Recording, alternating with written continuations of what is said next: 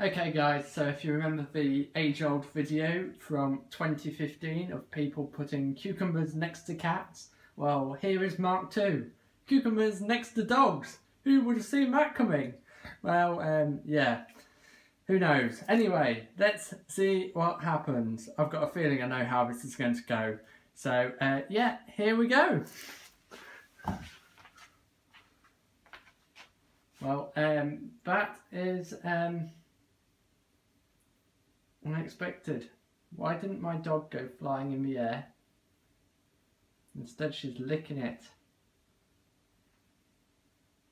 But of course, you like cucumber, don't you, Brenna? Right?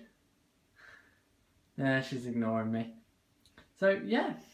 Well, hey, um, doesn't really, much doesn't really happen.